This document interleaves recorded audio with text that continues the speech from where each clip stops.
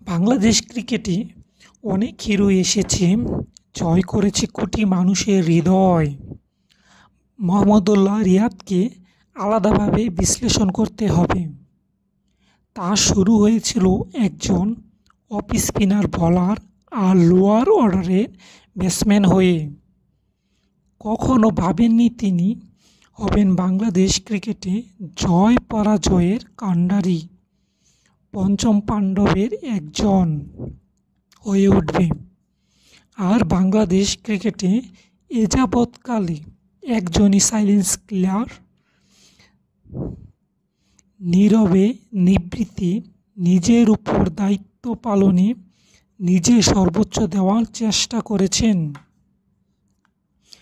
BCB boss Nazmul Hasan Papon সাংবাদিকদের প্রশ্নের উত্তরে মাহমুদ রিয়াদকে বিশ্বকাপে থাকা না থাকা নিয়ে মুখ খুললেন। তিনি বললেন, মাহমুদ রিয়াদ ভালো।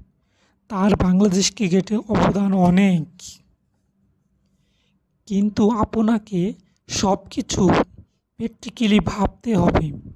সাত নাম্বার পজিশনে যদি আমি তিনজনকে ধরি, আফিফ, মোসাদ্দেক, মাহমুদুল্লাহ রিয়াদ।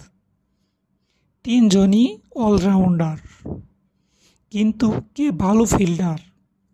সেটা যদি আসি, আফিফ বেস্ট, তারপর মোসাদ্দেক, শেষে মাহমুদুল্লাহ রিয়াদ। ওর বয়স হয়েছে, ও কতটুকু মাঠে এফোর্ট দিতে পারবে?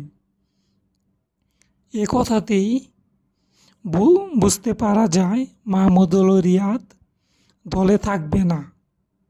আপনার মতামত কি তা কমেন্টে জানান।